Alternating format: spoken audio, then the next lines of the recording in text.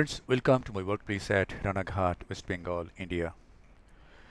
This is a soft cataract with mid-dilated pupil. Let us observe this surgery. This is the main incision with a 2.8 millimeter steel keratome on the posterior aspect of the limbus. This is a small side port at around 1.30 o'clock. And now, an air bubble is injected into the anterior chamber and beneath this air bubble, trypan blue 0.06% dye is applied over the anterior capsule. Then this is a bit of adrenaline to see if the pupil dilates little more. The size of the pupil is about 5 millimeter and with adrenaline probably it has enlarged to some extent and now the dye is washed out.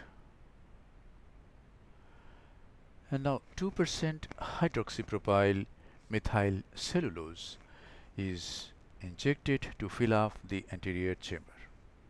And the air bubble is replaced by the visco. And now the size of the pupil is about 5.5 millimeter. I'm using this Utrata forceps by the Utrata itself I am raising a capsular tag and as I go along the margin of the pupil I get an adequate sized rhexis of about 5.25 millimeter. And now hydro dissection. BSS is passed just under the anterior capsular rim and the nucleus is tapped and then the nucleus is mobilized.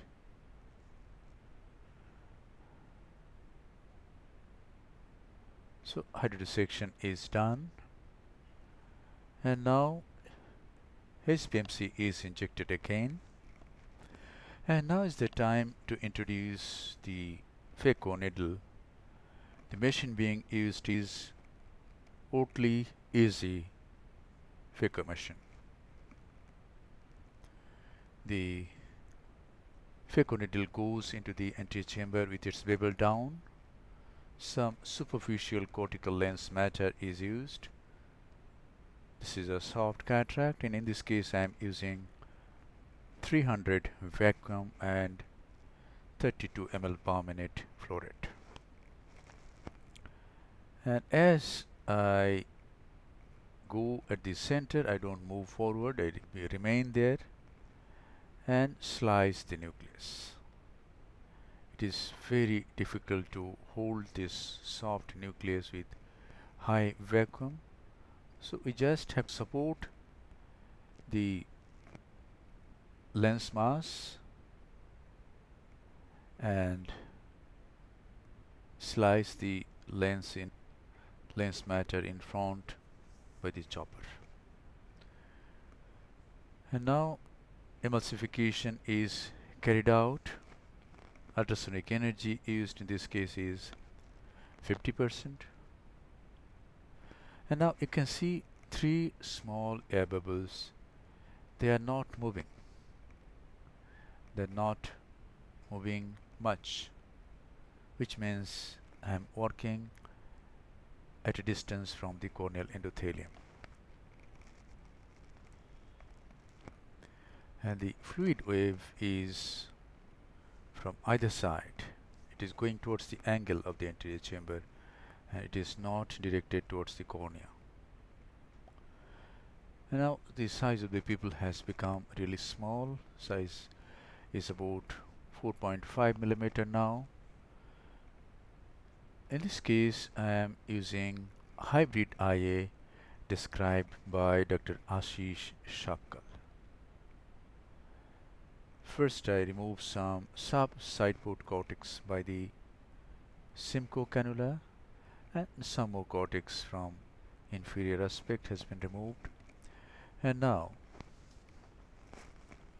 little bit of visco is injected and then the phaco handpiece is being used for irrigation. Its aspirating port has been closed by a cap.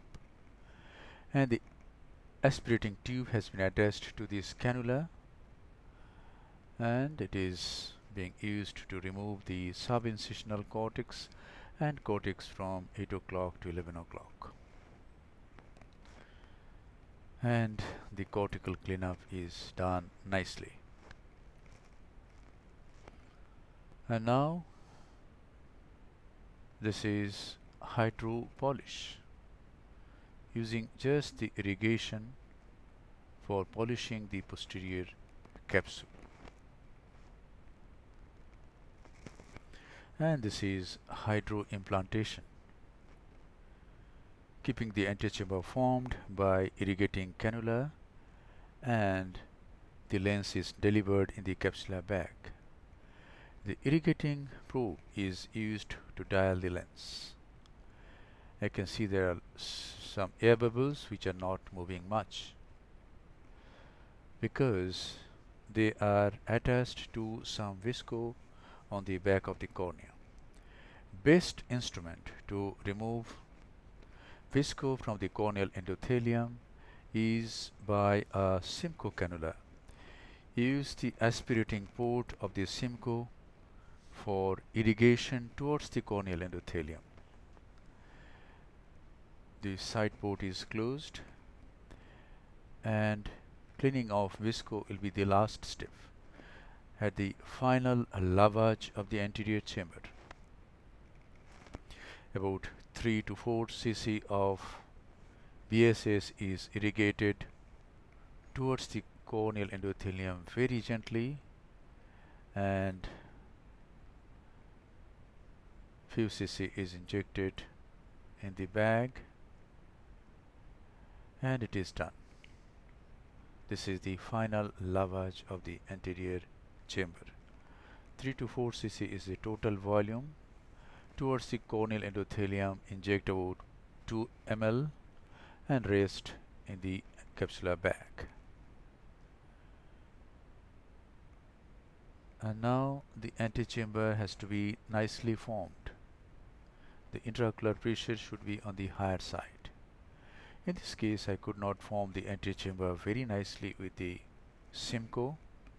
so I am using the irrigating probe and just one jet of irrigation is going through the side port. Now I check the wounds, there is no leakage and then inject few drops of moxie over the cornea and conclude the case.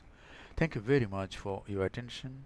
Hope this video will help you in developing your surgical skills. Hybrid IA is a great technique. You can try this. Congratulations to Dr. Ashish Shapkal for innovating this beautiful trick.